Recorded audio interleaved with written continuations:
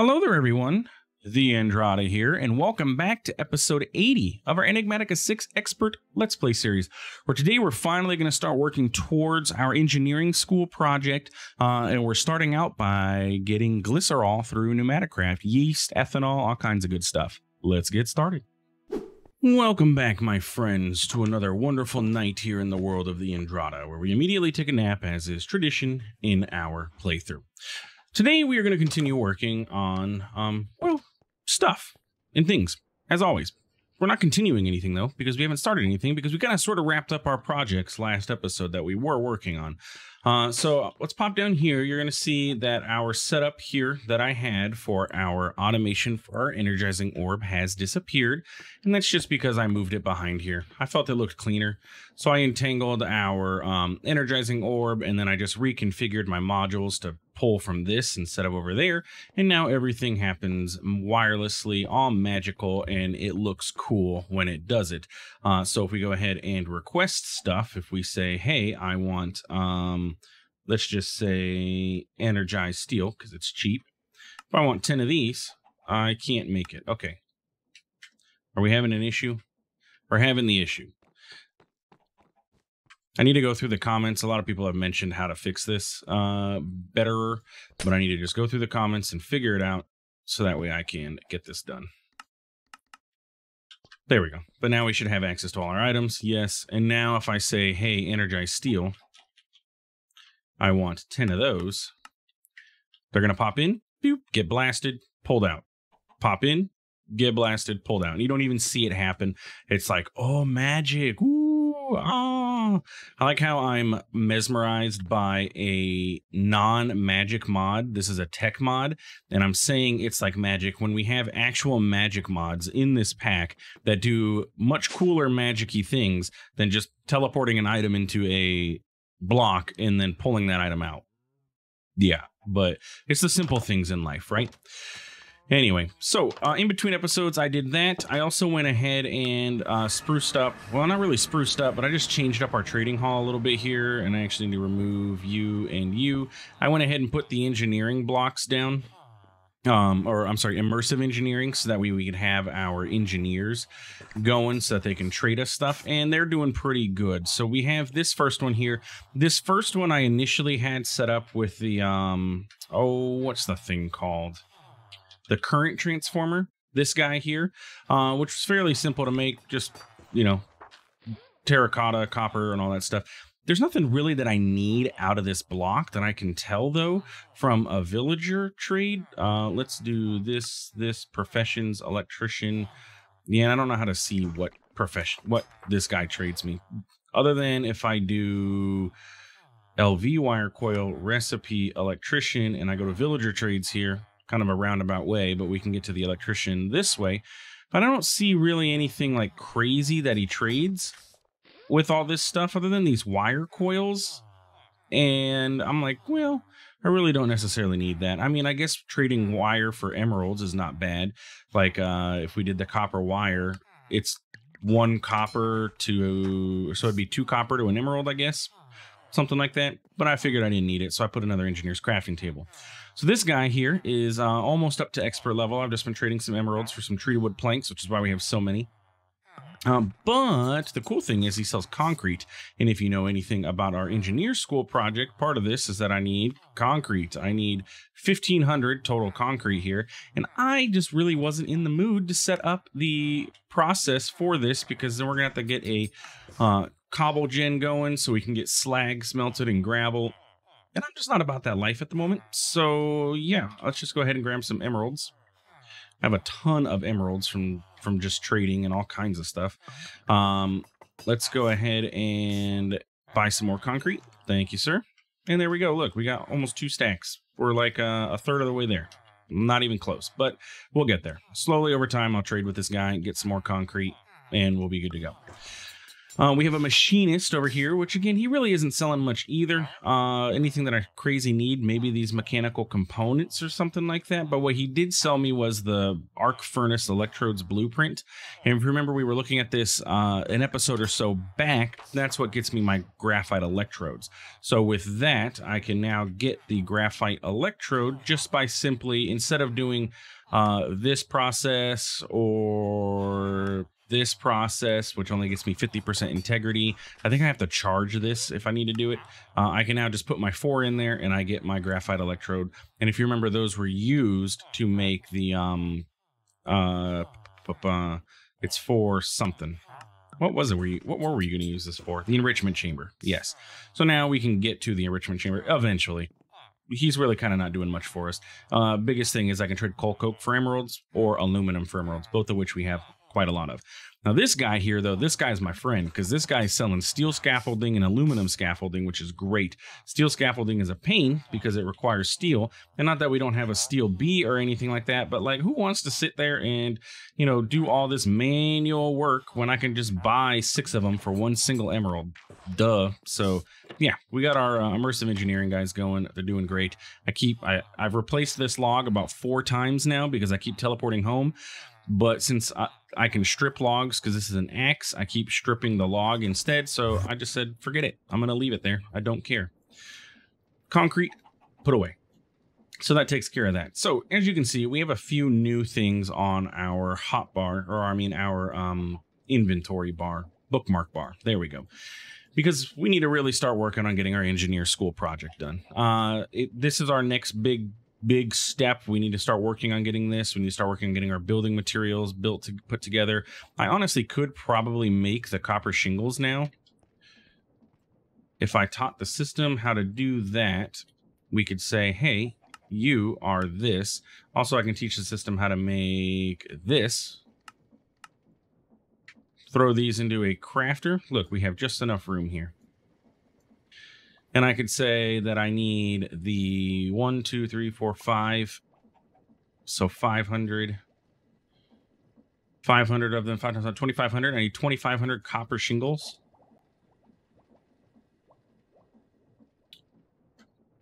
Twenty-five hundred copper shingles. Start. I have enough for that. Six hundred and twenty-eight. So we can go ahead and start that. And I think I'm going to need twenty-five hundred of the other thing too, right? 2500 frame glass? Yes. Start should have enough for that. It's going to use a bunch of iron, but we have plenty of it. So there we go.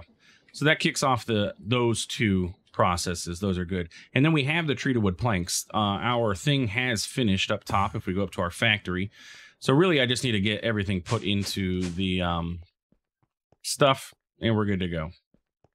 But there we go. Look, we have 10,000 treated wood planks, and we have still some uh, stuff left over. I, I thought we were going to use all of it, but I guess I misunderestimated because we have a lot left. Jeez, those are 32 buckets each.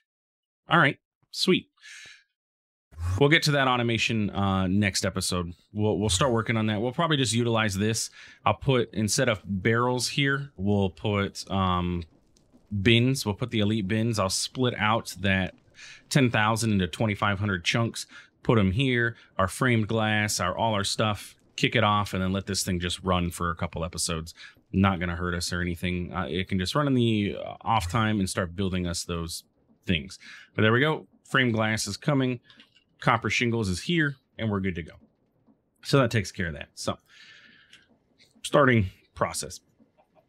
What I want to work on today, though, is uh, starting at the beginning of this, we're going to need to get um, bandages, right? And in order to get bandages, we need glops of glycerol. And in order to get drops of glycerol, it is a byproduct of the uh, biodiesel production through PneumaticCraft. Now, as far as I know, biodiesel is um, made much easier in immersive, but you can't make it until you get to the medium machinery, which is after you do your engineer school project. Uh, but it is much easier to do it this way than it is the PneumaticCraft way because it doesn't require yeast. And yeah, but that's where we're at for now. So we're going to go ahead and start working on this. So in order to do this, we need to um, get a fluid mixer. So drop of glycerol is made in a fluid mixer with vegetable oil and ethanol, right? Vegetable oil and ethanol. Ethanol is made in a thermopneumatic processing plant with yeast culture and sugar. Important to note that it does have to remain between 30C and 60C. What is our ambient temperature here in this area? Because a lot of times, you know, you can just, it could literally just sit here because it's at ambient 30C. We have an ambient temperature of 12C. So we're not going to be able to do this without doing some sort of uh, heating up of this. Now, if I were to, huh, like I believe a torch, if we throw a torch under there, isn't that enough heat? Potentially, like a torch just sitting under this would act, would heat it up, I think, or maybe a campfire. No, a campfire sitting next to it would go up to the 99C, wouldn't it? Um, well, that says 1400 Celsius, but it, uh, a pipe doesn't get up that hot. So, yeah, we're gonna have to figure out some way to throttle our temperature on these. I'm probably gonna actually need to end up making another one of these, and I also need to empty that. But we'll get to there. Okay. So that's ethanol production. Ethanol is made in a thermopneumatic processing plant. Yeast with a little bit of sugar will make us our ethanol. How do we make yeast then? Well, yeast is made in a thermopneumatic processing plant with mushrooms. Uh, one mushroom gets us 250 millibuckets of yeast, or we can do an in-world yeast production setup. I kind of sort of think that we can go, it depends. I'm going to try both ways. Um, but I'm going to go ahead and get a, a mushroom spawner setup going or, or a uh, spore recreator is what it is from Industrial Foregoing. We're going to see how this works because uh, I imagine we're going to need mushrooms for other things too in the future. So having mushrooms available to be produced, I think is going to be a good idea. So how do we make this? Well, we need to make a pity machine frame. If you remember, we've had pity machine frames on our system for a while. Oh, by the way, ultimately yeast, I don't, I'm not going to go this route with yeast. We're not going to do either of these. We're going to do them to get our first couple buckets, but then we're going to go ahead and make a PCB. PCB is made with an iron B, a lubricant bucket, and a pneumatic helmet in our pressure chamber at four and a half bar. Pneumatic helmet's fairly easy to make, just requires us to do this whole process, which we have basically the capability to do all of this stuff uh, a hazmat helmet. Yeah, we can do this. Just have to run this through five times. So we can make this happen. And the PCB has a byproduct of water into yeast. So we can actually convert our setup over here. Excuse me, sir. We can convert this over here. We can put uh, fluid collectors from industrial foregoing here. And we can put fluid placers on the other side. Bam have a pump or something, some sort of pump maybe to get the water out, or aqueous accumulator. That's what I went and decided on. That we have to make these water reagents in order to get this done. But the aqueous accumulator doesn't require power and it can pump water from any source blocks on its side. And then we can get water placed and then it'll place water down. B will fly over, convert it to yeast, we'll capture it, and I think that's going to be the best way.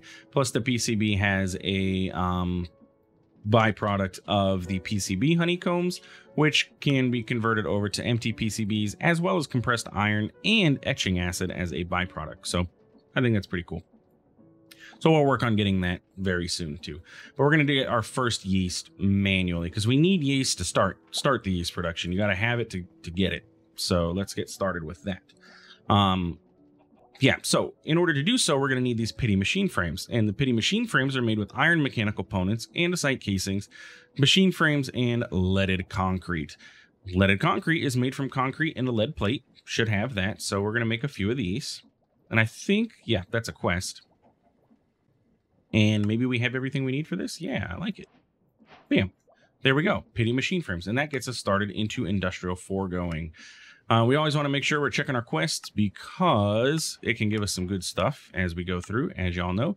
Now, this is a fluid extractor. Place one facing along, latex power, producing latex power. Yeah, this is the standard fluid extractor, which we've already used before. Or, well, we have the uh, arboreal extractor. If I pick up an arboreal extractor, is that going to complete the quest? You're not even doing anything here, buddy. Yeah. This one doesn't do anything anymore because the leaves, something happened to the leaves. So it doesn't really affect us there. But that gets that quest done. Bam, bam. And then we have other stuff that we can do. Okay, cool. Bam. That's the standard. This is industrial foregoing standard process. We already have bypassed this essentially. We're already producing rubber. Um, so like we can we can easily pick up our machines here and do the thing. We should be able to get all these quests done because we've already sort of bypassed all of this stuff by doing it other ways. But now we have the ability to do the dissolution chamber, which is, you know, going to be key for a lot of stuff in industrial foregoing anyway. Okay. So that gets us our pity machine frames, leaded concrete pity machine frames. We've had those on our to-do list for a very long time. Also need to get the centrifuge. I did go ahead and make the other casings uh, and get our centrifuge going. Let's go ahead and see. So the spores recreator is going to require uh, this stuff. So it's going to require redstone flux coil. It's going to require some mycelium. I do have mycelium. Just went into the nether and uh, silk touched it up. Uh, we have two mushrooms, a pity machine frame, plastic, and nocturnal powder. Now, plastic we don't have yet. As you can see, we hover over it. It's red. We don't have plastic. Easy to get, though. It's literally just dry rubber put into our blast furnace, smelts into plastic, and has a byproduct of slag. Dry rubber, if you remember from long ago, is made by using latex, sulfur, and that makes us some dry rubber. So we're going to go ahead and get, I'll probably just do half a stack of this. Pop on over to our blast furnace, which is this bad boy right here. Uh, oh, apparently I've already done this before. Hey, I didn't even know. That's just how good I am. I just, I set things up and I don't even remember that I do it. We can take the slag out too. Sweet. Well, we have plastic. That was much easier than I thought it was going to be.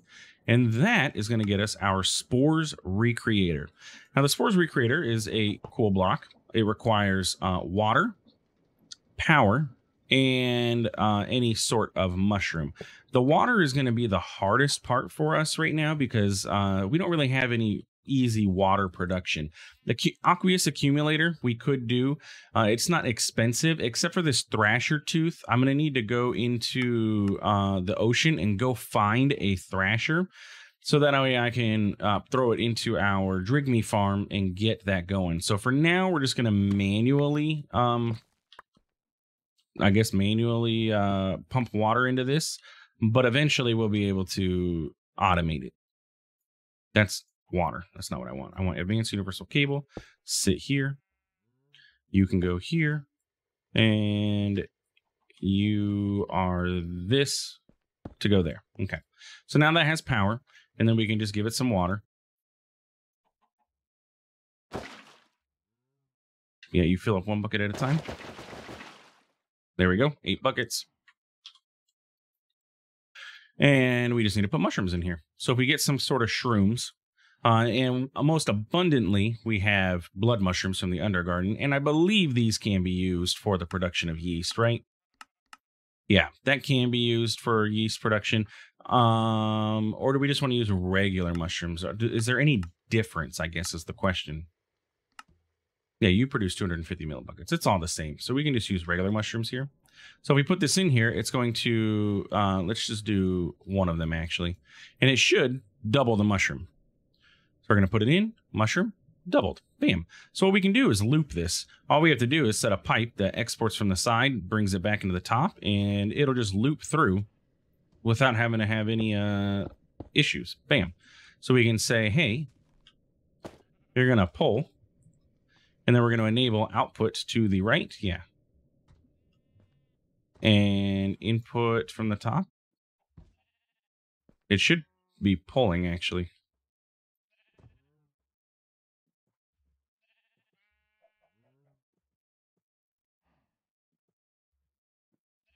Push. Yeah. Did it do it?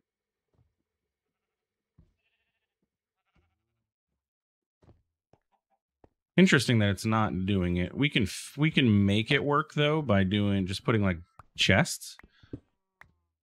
If I get like a chest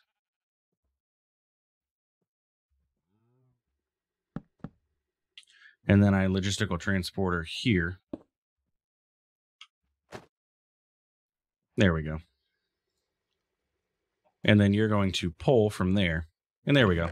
Now it'll loop. This is going to push to the right.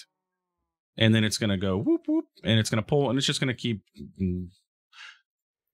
doubling all of our mushrooms. So we can turn these off. So that way the only thing that goes in there is the correct directions. And then for water, uh, of course, you know, we, we need to get water producing somewhere, which is what we're going to use an aqueous accumulating for, but we need to get that water reagent. Uh, so we're not going to worry about it too much. But yeah, look, we got mushrooms being doubled up, and eventually it's going to fill up all these slots. Uh, if as long as we have enough water in here, of course, it'll fill up all the slots, and we're going to get a bunch of different mushrooms. So we're going to just let that run through. It does its thing. How much mu- how much does it use actually? Uh, its recipe. Interesting that it's not. Oh, there it is. It actually doesn't say how much water this uses, but each one of these processes. So we're at 6600 uses uh 100 millibuckets of water. So right now we're going to be able to make what?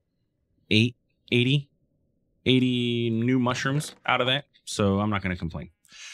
So that gets us some extra mushrooms. So we can go over to our um farm here and we need to go ahead and start working on getting our first bit of yeast going. So let's take this off of our to-do list and start working on this. So again, 30 to 60 degrees Celsius is to be the biggest issue. It doesn't look like it requires any pressure. It's just temperature to make this happen. So let's go ahead. Thermo-pneumatic. Can I make another one of these? Do I have the resources for this?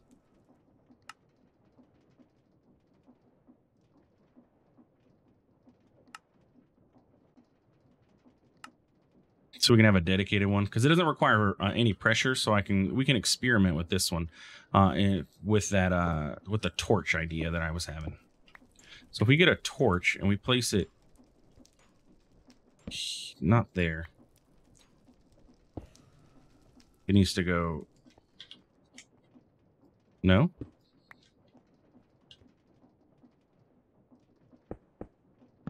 There.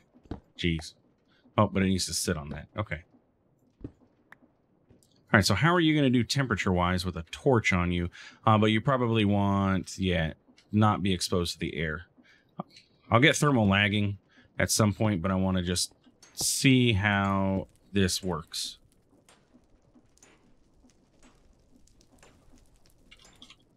Oh, I have enough thermal lagging, actually.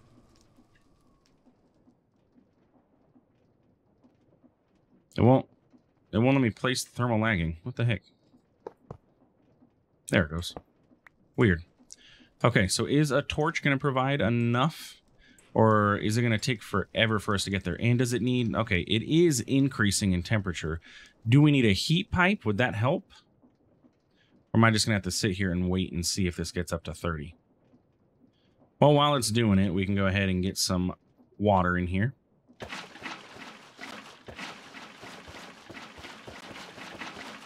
Just max it out and get some mushrooms in here. And then it's going to tell us, you know, we're going to get up to the range.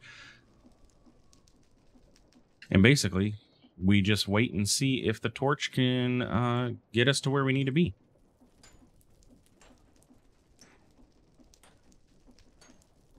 We're so close. Let's do a little bit of inventory cleanup while we wait. You're going to go here. Nighttime has arrived. So let's sleep. You go there, you go there. Iron goes away. And maybe we have some yeast. Hey, we have it working. It's doing its thing, creating yeast. So we're sitting at 32C. I don't know how hot a torch is going to get overall, but uh, it works. So now we just need to get a couple more. We need to get at least one bucket of it because there is another method of... Really? I can't tick accelerate because the thermal lagging is in the way.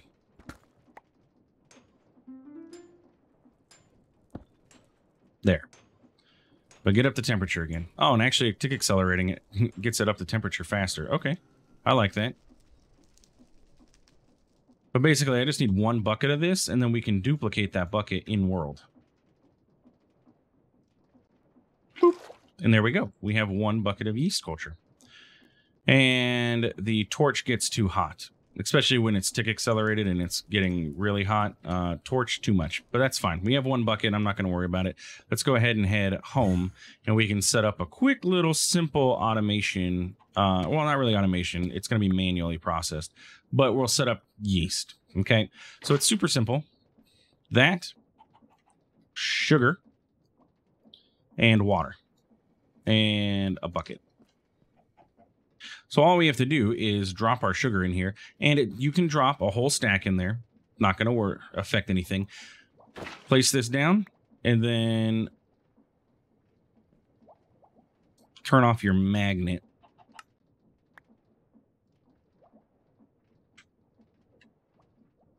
Stop.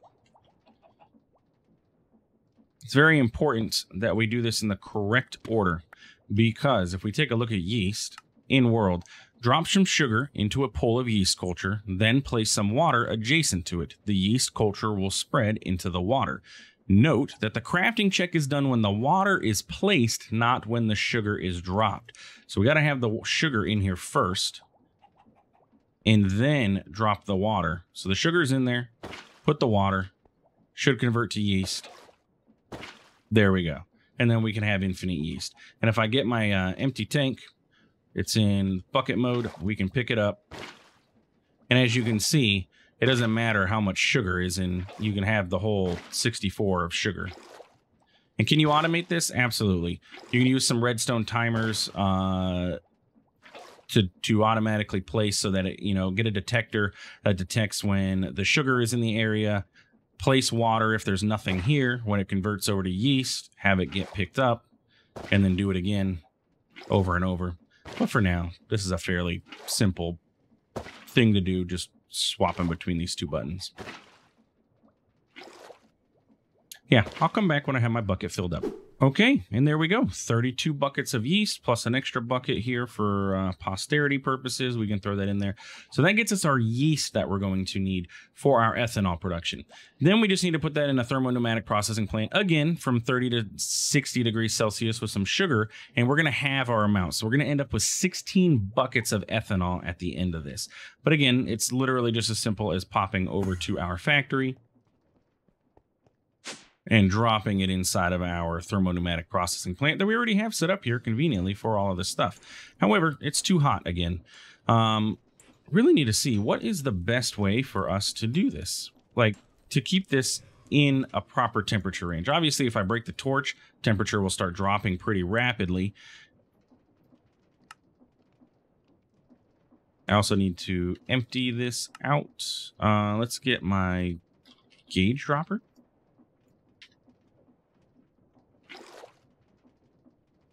And then we can clear the gauge dropper uh, by doing this. Yeah. And then pick up my torch. If I break this, do you lose your fluid? That'd be kind of nice. No, you don't. That figures. Uh, but we can pump it out. That's fine. Move fluid. And then let's get a trash can. I should have a fluid trash can.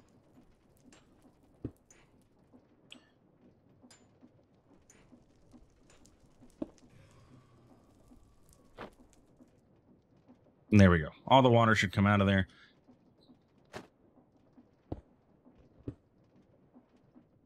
I don't have my magnet on anymore, so everything's getting messed up. Okay, so that is that. So then if I take my yeast culture and put as much of it into this as I can, which is going to be eight buckets, bam, or 16 buckets. Oh, it actually does half. We can then get sugar in here. Uh, sugar. We can always convert sugarcane over, so that's fine. We're going to do this, and it's going to say, hey, it's too hot again, or not hot enough again. But we can get that going. I would love to just accelerate it, though. Uh, please hurry up.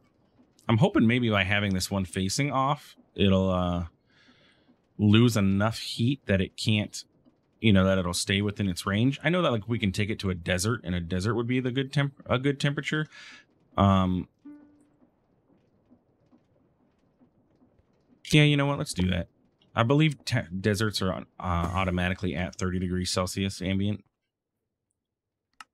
And we do have a desert here.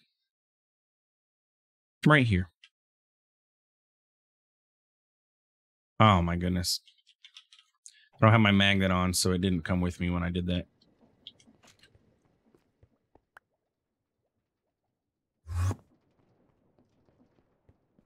I just want to get this ethanol produced before we wrap up the episode. And that way we can come back and get the uh, other stuff going. Because we have a whole nother line of stuff that we need to get done, but it's going to be fairly simple, that line.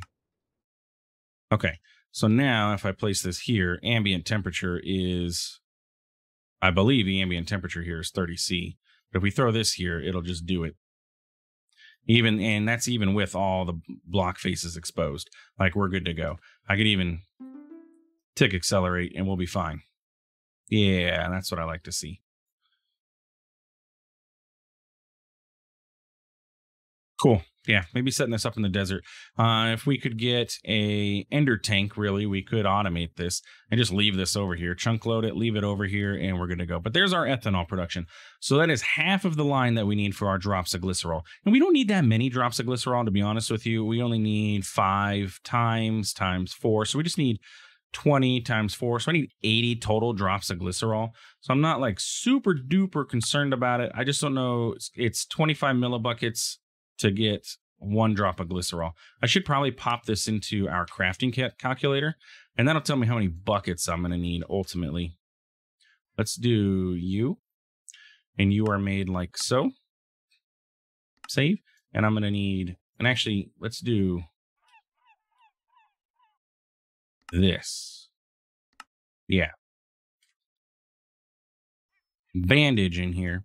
And I'm going to need uh 20 of these, right? One, two, three, four. Yeah, 20. 20 bandages. So yeah, 80 drops of glycerol, which is going to require two buckets of ethanol and two buckets of vegetable oil. So we actually already have that. Like it's not even that difficult. So our next step, yeah, we're about to have the two buckets of ethanol in like literally a second or two seconds or 20 seconds. So that's that.